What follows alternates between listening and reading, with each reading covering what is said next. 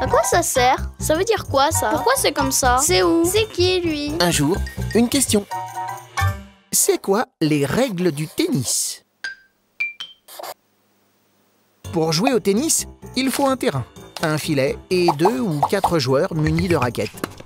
Le serveur lance la balle dans le carré de service adverse. S'il le rate, il a une deuxième chance. Puis le receveur lui renvoie la balle, et ainsi de suite. On marque un point quand l'adversaire loupe la balle, la renvoie hors du terrain ou dans le filet. Comment on compte les points? Ah, Tu as déjà dû entendre la phrase de l'arbitre Jeu, set et match. Ce sont les étapes du match. Les points se comptent ainsi. Pas de points, euh, 0. Premier point, 15. Deuxième point, 30. Troisième point, 40. Au quatrième point, le joueur gagne le jeu, sauf si son adversaire a aussi 40. On dit alors que les joueurs sont à égalité.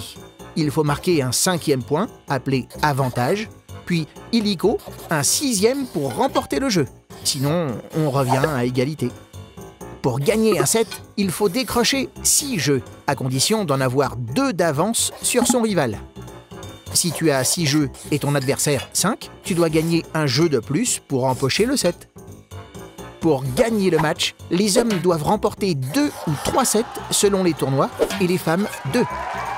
Il ne te reste plus qu'à t'y mettre ou à regarder un tournoi comme Roland Garros ou la Coupe Davis. Tu te poses des questions?